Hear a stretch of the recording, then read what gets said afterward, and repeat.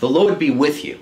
I'm Deacon Keith Fournier, and our first reading is taken from the book of the prophet Amos.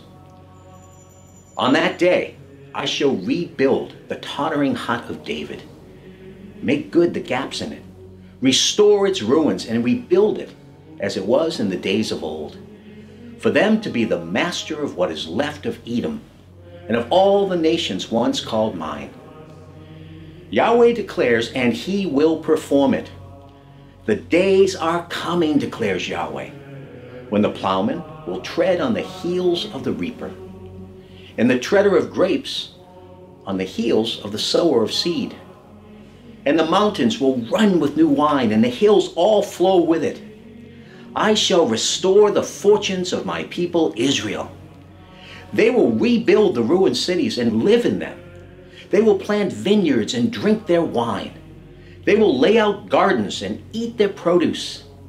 And I shall plant them in their own soil, and they will never be uprooted again from the country which I have given them, declares Yahweh, your God. And our response is taken from Psalm 85.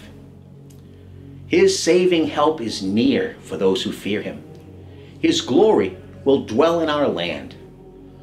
Loyalty will spring up from the earth and justice will lean down from heaven.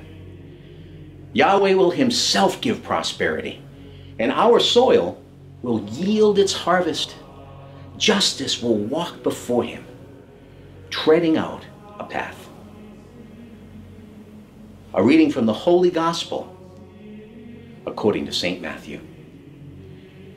Then John's disciples came to him and said, why is it that we and the Pharisees fast, but your disciples do not?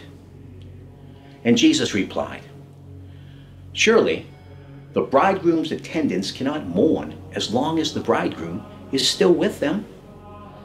But the time will come when the bridegroom is taken away from them, and then they will fast. No one puts a piece of unshrunken cloth onto an old cloak because the patch pulls away from the cloak and the tear gets worse.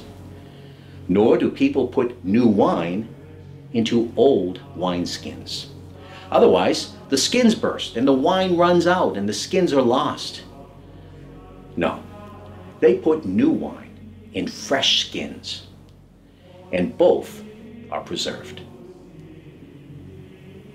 The Gospel of the Lord.